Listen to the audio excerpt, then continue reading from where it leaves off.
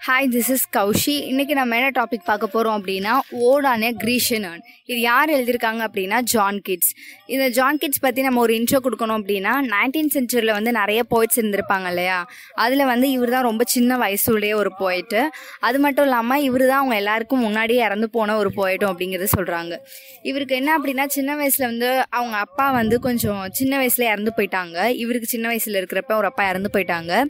அதுக்கப்புறம் இவர் தான் வந்து கொஞ்சம் அம்மாவுக்கு ரொம்ப பாசமாக வந்து கேர் பண்ணிக்கிறது எல்லாம் பண்ணிட்டு இருந்தாரு. ஆனால் அவங்க அம்மா வந்து படுக்க படுக்க ஆகிட்டாங்க அதே வருஷத்தில்.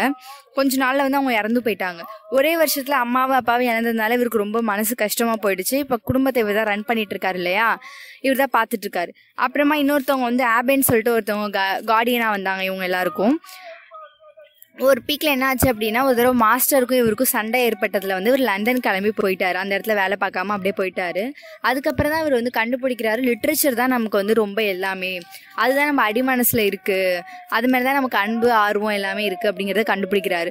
கண்டுபிடிச்ச உடனே இவர் என்ன பண்ணுறாரு அப்படின்னா அதுக்கான ஸ்டெப்பை எடுத்து வைக்கிறாரு. ஆனால் வந்து அவர் கார்டியன் இருக்கார் இல்லையா? அவர் வந்து அப்போஸ் பண்ணுறாரு ஆனால் அவங்க பிரதர்ஸ் சிஸ்டர்ஸ்லாம் வந்து என்ன பண்ணுறாங்கன்னா என்கரேஜ் பண்ணுறாங்க நீ பண்ணு ஓகே நாங்கள் கூட இருக்கோம் நீ நல்லா பண்ணுற அப்படின்னு சொல்லிட்டு என்கரேஜ் பண்ணுறாங்க சரி ஓகேண்டி இவர் இது பண்ணுறாரு ஃபர்ஸ்ட் வந்து ஸ்டார்டிங்கில் அவரோடது எதுவுமே ரெக்கக்னைஸ் ஆகலை. அதுக்கப்புறமா தான் ரொம்ப ரெக்கக்னைஸ் ஆக ஆரம்பிச்சது. ஃபேமஸ் ஆக ஆரம்பிச்சார். இவருக்கு ரொம்பவே கீட்ஸ்னாலே நமக்கு தெரியும் இல்லையா? நேச்சர் போயிட் அப்படிலாம் சொல்லுவோம் இல்லையா? லவர் ஆஃப் நேச்சர் அப்படிலாம் சொல்லுவோம் இல்லையா? இந்த மாதிரி நேச்சரோட ஒரு ஒன்றி வாழ்ந்து அந்த மாதிரி தான் ஒரு போயம்லாம் எழுதுவார். அந்த மாதிரியான ஒரு பீஸ் தான் அது வந்து ஓடானே கிரீஷன் ஏர்ன் ஓட்லேயே ஒரு நிறைய எழுதியிருக்காரு. ஒரு அஞ்சு எழுதியிருக்காருன்னு நினைக்கிறேன். இது வந்து அதில் ஒன்று ஓடானே கிரீஷன் ஏர்ன் அப்படிங்கிறது என்னென்னா ஏர்ன் அப்படிங்கிறது என்னென்னா ஒரு தாலின்னு சொல்லுவாங்க இங்கிலீஷில் வந்து. இந்த பானை மாதிரி பெருசாக இருக்கும் இல்லையா? சின்ன பானை வந்து ஒரு சைஸ்லேயே அதே கொஞ்சம் பெருசாக இருந்தால் எப்படி இருக்கும்? அந்த மாதிரி இருக்கிற ஒரு இட ஒரு பானை இருக்குது தாலின்னு சொல்லுவாங்க. அதில் வந்து என்ன இருக்குன்னா நிறைய பிக்சர்ஸ் நிறைய வரைஞ்சிருக்காங்க அதில்.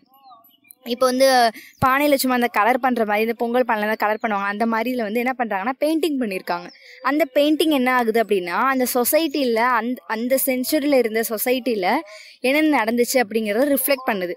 அது அப்படியே இவர் வந்து நேச்சரோட ஒன்றி அப்படியே எழுதியிருக்கிறாரு. இந்த போயம் ஃபுல்லாகவே அது மட்டும்தான் வரும். இப்போ போயம் லைன்ஸ் பார்க்கலாம். ஃபர்ஸ்ட் ஆன்சரில் என்ன சொல்லியிருக்காங்க அப்படின்னா அந்த ஏர்னை வந்து ஒரு மணப்பெண்ணோட கம்பேர் பண்ணுறாங்க இப்போ வந்து ஒரு கல்யாணத்தில் வந்து மணப்பெண்ணும் மண அந்த மாப்பிள்ளையும் வருவாங்க இல்லையா? வந்ததுக்கப்புறம் அவங்க என்ன பண்ணுவாங்க அப்படின்னா அங்கே உட்காந்துருப்பாங்க இப்போ வந்து அவங்க முகத்தில் சந்தோஷம் தெரியும். ஆனால் வந்து அவங்க வந்து மணப்பெண் வந்து கத்திக்கிட்டு மாப்பிள்ளையோட பேசிக்கிட்டு இல்லை வந்து அவங்களோட ரிலேஷன்ஸோட பேசிக்கிட்டு கத்தி பேசிட்டு சிரிச்சுக்கிட்டு அந்த மாதிரிலாம் இருக்க மாட்டாங்க இல்லையா? ரொம்ப அமைதியாக வெக்கப்பட்டுட்டு அழகாக உட்காந்துருப்பாங்க இல்லையா?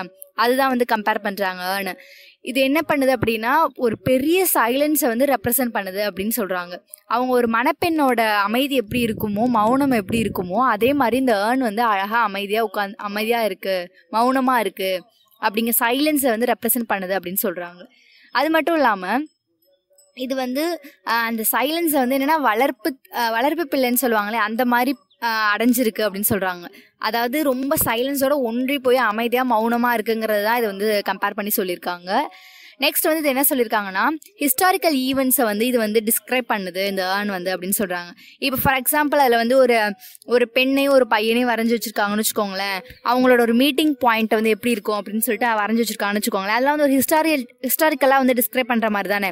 அந்த வரலாறுல எப்படி இருந்துச்சு அப்படிங்கிறத நமக்கு தெரியப்படுத்துறதுக்காக அந்த பெயிண்டிங்ஸ்லாம் இருந்துச்சு அப்படிங்கிறத சொல்கிறாங்க அது மட்டும் இல்லாமல் அதில் இருக்கிற மனுஷங்க வந்து அது மனுஷங்களா இல்லை கடவுளா அப்படின்னு எனக்கு தெரியல அப்படிங்கிறத டவுட் பண்ணி எழுதியிருக்கிறாரு.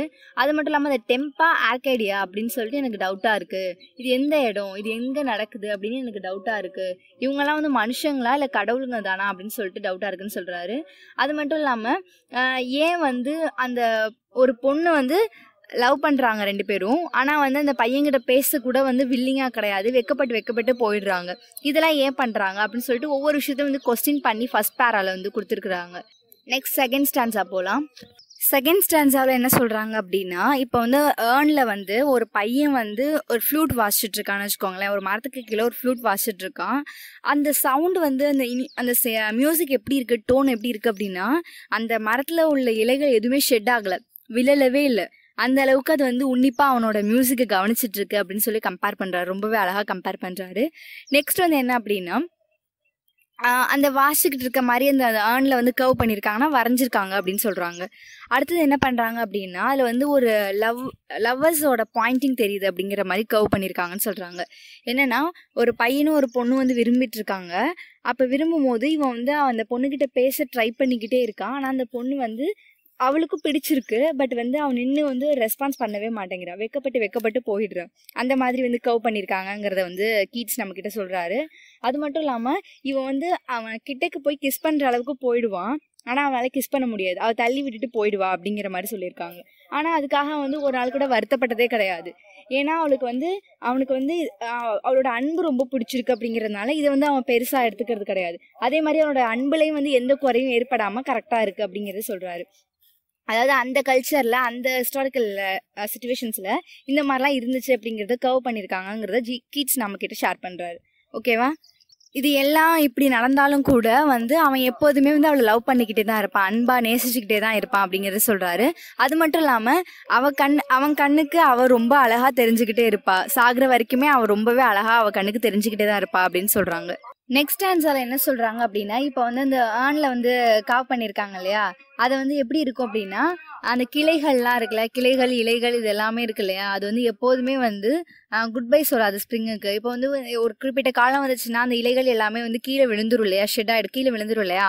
ஆனால் எதுவுமே வந்து ஏர்னில் வந்து நடக்கவே நடக்காது. அப்படியே ப்ரெசென்ட்டாக அப்படியே நேச்சுரலாக அப்படியே இருக்கும். சூப்பராக அது எப்போதுமே அதுக்கு வந்து அழிவே கிடையாது அப்படிங்கிறத சொல்கிறாரு அது மட்டும் இல்லாமல் அந்த மியூசிஷியன் சொன்னேன் இல்லையா? அவன் வாசிட்டு இருக்கான்னு சொன்னான் இல்லையா?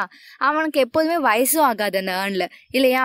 அவனுக்கு வந்து வயசும் ஆகாது. அதே மாதிரி அவன் ஃப்ளூட்டோட மியூசிக் வந்து நமக்கு எப்போதுமே சந்தோஷத்தை கொடுத்துக்கிட்டே இருக்கும்.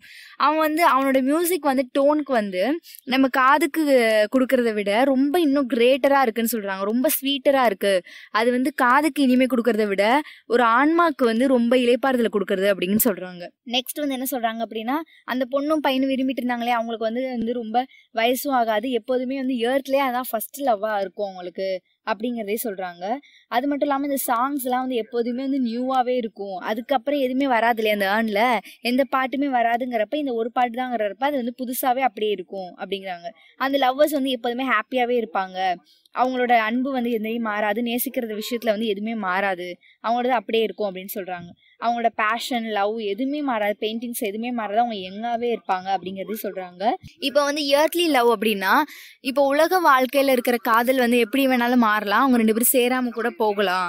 அவங்களுக்கு வந்து விரும்பாமல் கூட போகலாம் ஒரு பீக்குக்கு அப்புறம் அன்பு இல்லாமல் வந்து ரெண்டு பேரும் வெறுத்து கூட இருக்கலாம். ஆனால் வந்து அந்த ஏர்னில் இருக்கிற லவ்வர்ஸ் வந்து எப்போதுமே ரெண்டு பேரும் லவ் பண்ணிக்கிட்டே தான் இருப்பாங்க.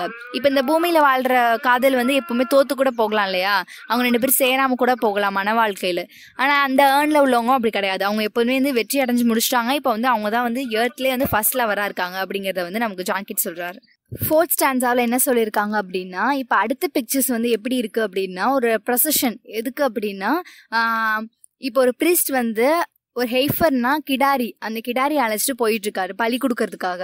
ஒரு ஆல்ட்டர் இருக்கு அந்த இதுக்கு பலி கொடுக்கறதுக்காக போயிட்டு இருக்காரு பின்னாடி வந்து அந்த ஊர் மக்கள் எல்லாருமே என்ன பண்றாங்க அப்படின்னா ஃபாலோ பண்ணிட்டு போயிட்டு இருக்காங்க இந்த இது எங்க இருக்கு அப்படின்னா அந்த இடம் அந்த பலி கொடுக்குற இடம் எங்க இருக்கு அப்படின்னா அவங்க இருக்கிற அந்த டவுனை விட எட்டி அந்த ஆறு இதெல்லாம் இருக்கும் இல்லையா அந்த மலை ஒரு டாப் ஆஃப் த மவுண்டெயின்ல மேலே அந்த ஆல்டர் இருக்கு. அங்க அந்த ஹெய்ஃபரை அழைச்சிட்டு போயிட்டு இருக்காங்க அந்த கிடாரியை அழைச்சிட்டு போயிட்டு இருக்காங்க இப்போ நம்ம ஊர்ல இருந்து இந்த கோயிலில் வந்து பலி கொடுக்கறதெல்லாம் சொல்லுவாங்க இல்லையா அந்த மாதிரி வந்து இங்க என்ன பண்றாங்கன்னா அந்த கிடாரிக்கு வந்து மாலை எல்லாம் போட்டு அழைச்சிட்டு போறாங்க அந்த ஆல்டருக்கு. அந்த மக்கள் எல்லாமே அவர் ஃபாலோ பண்ணிட்டு போகிறாங்க அவர் பார்க்கவே கொஞ்சம் மர்மமாக இருக்கார் அந்த ப்ரீஸ்ட்டு எல்லாருமே வந்து பின்னாடி ஃபாலோ பண்ணிட்டு போயிட்டுருக்காங்க இப்போ அந்த சிட்டியில் சாரி அந்த டவுனில் அந்த ஊரில் வந்து யாருமே கிடையாது. ஒரு மக்களுமே இருக்க மாட்டாங்க. இப்போ யாராவது ஒருத்தவங்க வந்து மக்கள்லாம் எங்கே போயிருக்காங்க அப்படின்னு கேட்கறதுக்கு கூட ஒருத்தர் கூட கிடையாது. ஆன்சர் சொல்கிறதுக்கு அங்கே ஒருத்தர் கூட கிடையாது அப்படிங்கிறத சொல்கிறாங்க அந்த கிடாரி இருக்கு இல்லையா அது போணுச்சு இல்லையா அது வந்து என்ன பண்ணுது அந்த சுச்சுவேஷன்லாம் பார்த்து ரொம்ப கொஞ்சம் பயப்படுது. வானத்தை பார்த்து கத்த ஆரம்பிக்குது. ரொம்ப அப்படி க- அந்த எருதுலாம் கத்தும் இல்லையா? அந்த மாதிரி கத்த ஆரம்பிக்குது. அந்த என்விரான்மெண்ட் எப்படி இருக்கு அந்த ஆல்டர் வந்து கிரீன் லீவ்ஸ் பச்சை இலைகளால வந்து அப்படியே அ- அலங்கரிக்கப்பட்டு அப்படியே அழகா இருக்கு. இப்போ அந்த இடத்துக்கு தான் அந்த மக்கள் எல்லாம் போயிட்டு இருக்காங்க அப்படிங்கறத வந்து அப்படியே இந்த ஏர்ன்ல வந்து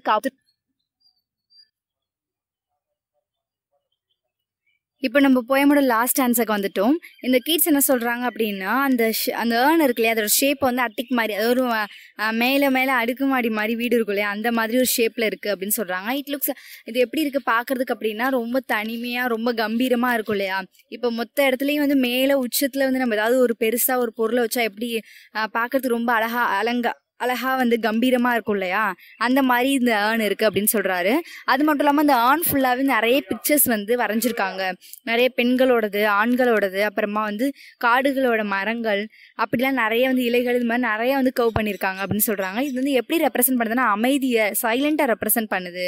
ரொம்பவே வந்து அமைதியாக ஸ்டாண்டாக நிற்குது அப்படிங்கிறத சொல்லியிருக்காங்க நம்ம வந்து ஃபுல்லாக இதில் இருக்கிற ஐடியாஸை ஃபீலிங்ஸ் வந்து நம்ம புரிஞ்சுக்க முடியாது அப்படின்னு சொல்கிறாங்க ஒவ்வொரு எமோஷன்ஸ் இருக்குது இதில் வந்து அதுக்கு மட் அதை செஞ்சவங்களுக்கு மட்டும்தான் புரியும். அந்த ஏர்னுக்கு மட்டும்தான் தெரியும். நமக்கு வந்து இதில் வந்து ஃபுல்லாக அண்டர்ஸ்டாண்ட் பண்ணிக்க முடியாது அப்படிங்கிறத கீட் சொல்கிறாங்க அது மட்டும் இல்லாமல் இது மனுஷங்களோட வாழ்க்கையை வந்து ரெப்ரசென்ட் பண்ணுது அப்படின்னு சொல்கிறாங்க இப்போ ஜ கரண்ட் ஜென்ரேஷன் அப்போ இருக்க ஜென்ரேஷன் அழிஞ்சாலும் கூட பின்னாடி இருக்கிற வ வர சந்ததிகள் அந்த ஜென்ரேஷன்லாம் இருக்கும் இல்லையா அவங்க வந்து இதை பார்த்து அப்படியே ஃபாலோ பண்ணுவாங்க. இதுதான் சஃபரிங்ஸ் இதுதான் வந்து சந்தோஷம் அப்படின்னு சொல்லிட்டு இந்த விஷயத்த ஃபாலோ பண்ணுவாங்க அப்படின்னு சொல்கிறாங்க அது மட்டும் இல்லாமல் கடைசியாக அவர் என்ன ஒரு ஒரு அவுட்லைன் கொடுக்குறாரு அப்படின்னா இதோட தீம் மாதிரி என்ன சொல்கிறாரு அப்படின்னா அழகாக இருக்கிற எந்த விஷயமே வந்து உண்மையாக இருக்காது. உண்மையாக இருக்க விஷயம் எதுவுமே அழகாக இருக்காது அப்படிங்கிற ஒரு லைனோட முடிக்கிறாரு. ஓகேவா இந்த போயமோட இம்பார்ட்டன்ஸ் வந்து என்ன அப்படின்னா மேன்கைண்ட் அப்படியே கொடுக்கறது தான் மனுஷ வாழ்க்கை எப்படி இருக்கு அப்படிங்கிறத வந்து அந்த அந்த ஜென்ரேஷனில் அந்த ஹிஸ்டாரிக்கலில் எப்படி இருந்துச்சு அந்த சுச்சுவேஷனில் செஞ்சுரியில் எப்படி இருந்துச்சு அப்படிங்கிறத ரெப்ரசென்ட் பண்ணுறதுக்காக தான் இந்த போயம் ஃபுல்லாகவே அதை எப்படி ஒரு ஏர்னில் கவ் பண்ணால் எப்படி இருக்கும் அப்படிங்கிறத வந்து ஜாங்கிட்ஸ் அழகாக நமக்கு ஷேர் பண்ணியிருப்பார். அப்போ இருந்த ஜென்ரேஷன் வந்து அழிஞ்சாலும் கூட இறந்து போனாலும் கூட வருகிற ஜென்ரேஷனுக்கு வந்து அந்த ஏர்ன் வந்து எப்படி ரெப்ரசென்ட் பண்ணும் அப்படின்னா அழகாக இருக்க ஒரே ஒரு விஷயத்தை தான் அவர் சொல்கிறார் கீட்ஸ் வந்து ஒரு தீமாக அவர் சொல்கிறாரு அழகாக இருக்க விஷயம் எதுவுமே உண்மையாக இருக்காது. உண்மையாக இருக்கிற விஷயம் எப்போதுமே அழகா இருக்காது அப்படிங்கிறத வந்து ஜென்ரேஷனுக்கு வந்து புரிய வைக்கும் அப்படிங்கிறத சொல்கிறாங்க வேறு ஏதாவது டவுட்ஸ் இருந்துச்சு அப்படின்னா காமெண்ட் செக்ஷன் லீவ் பண்ணுங்கள் தேங்க்யூ ஸோ மச்